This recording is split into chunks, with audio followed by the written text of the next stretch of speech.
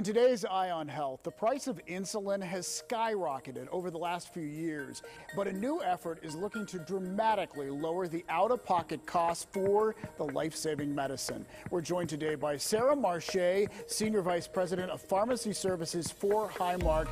And Sarah, this sounds like a scary situation for so many people who are looking at the costs. What are you hearing from patients? What are they saying? Yeah, well, the rising cost of um, prescription drugs is a concern for many patients these days. And as an insurer, an insurer, we hear about that often just because, you know, affordability is one of the major concerns we have, and we want people to take their medica- medications as prescribed.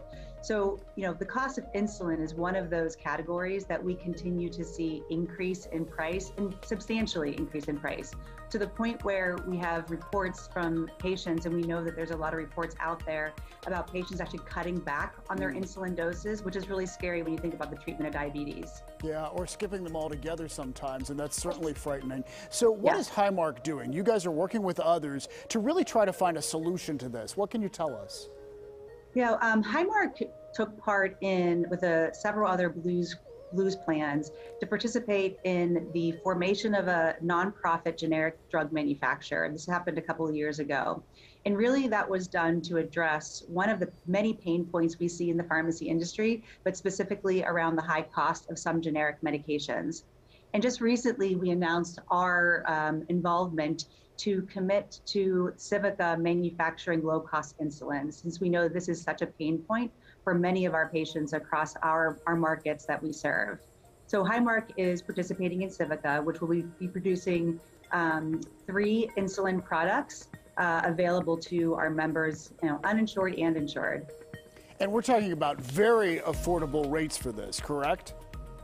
Yes, the, the goal is that they would, we would be able to release this uh, for about $30 per vial or about $55 for a cartridge of five pens which is going to make a huge difference for so many people. Now, you're talking about three different types of insulin. How soon could we actually see this manufactured and, and begin helping people?